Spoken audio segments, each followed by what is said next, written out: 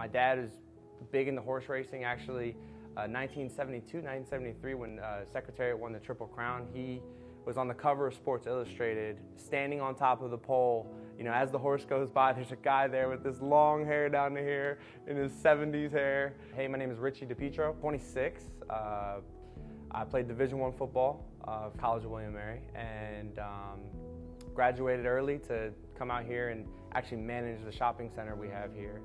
Um, it was my dad's kind of vision, dream, and you know he kind of got sick, so we needed help, and I stepped up right out of college the day after I graduated and just started working. So. Uh, just kind of grabbed the bull by the horns and tried to figure it out. He loved horse racing. He's, he's always been into it, and it's only right for us to call it jockeys and kind of continue with that theme for my dad, you know. So we've been open a year and a half.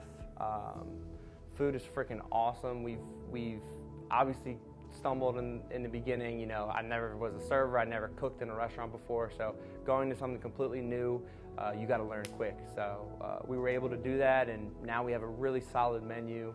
Uh, coming out with creative things all the time. I mean, we had this burger uh, a few days back. It's covered in cheese, and it's just you know really cool that you get to be creative and uh, do things that you can't really do in any other business. So um, it's easy to be passionate about this kind of thing, and, and, and people feed off that energy. So bringing that, you know, the customers feel it. You come here and you're like, dang, like I really feel good about myself. Like it's not just like I'm going to Applebee's or something where, you know, you don't really think you know, I just go there to eat and leave, and you, know, you don't really have the experience. But we kind of drive that that home here. Um, the other part of this uh, event thing we have here, you know, the restaurant event center.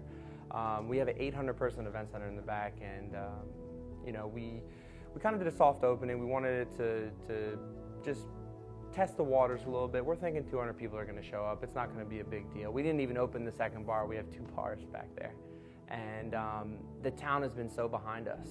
So all of a sudden we come in and there's 600 and some 650 people there. It was ridiculous. Uh, a great time. Everyone had so much fun, but um, it's just a testament to you know how special we can be and, and, and what, what this venue is about. So um, the town's behind us.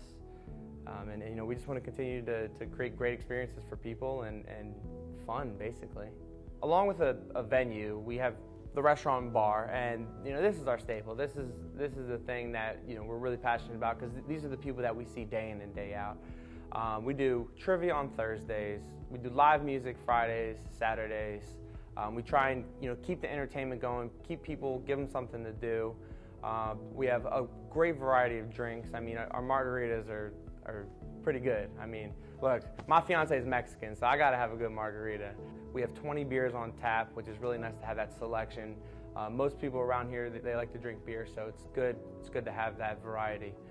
Um, but yeah, so you know we're all about fun. We're all about good food, fast service, and a good time. You know, so things have been crazy. I mean, at first when we found out um, March when things were going down with the whole coronavirus, we completely shut down for uh, three weeks or yeah, three or four weeks it was. So it was it was a pretty long time to. But what we did in that time is we didn't just sit around. We kind of got a plan. We said, hey, what are we going to do to make this thing great? And we've kind of turned this, you know, we can only do carry out delivery thing into kind of an opportunity of us to improve our food, improve our systems. Um, maybe focus on doing more delivery. Maybe that's something that we continue, and it, it's really helped us to elevate our game and, and really bring it to the next level.